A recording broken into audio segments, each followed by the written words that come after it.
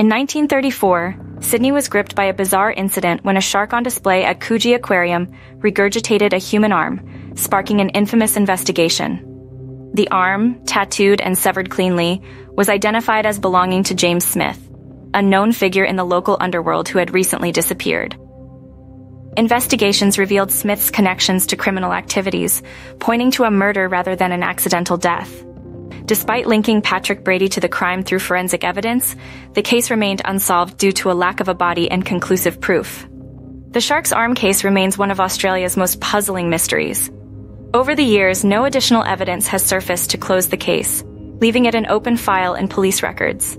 It stands as a stark reminder of the era's unresolved crimes, with the truth about Smith's death and the circumstances leading to the arm's discovery still shrouded in mystery.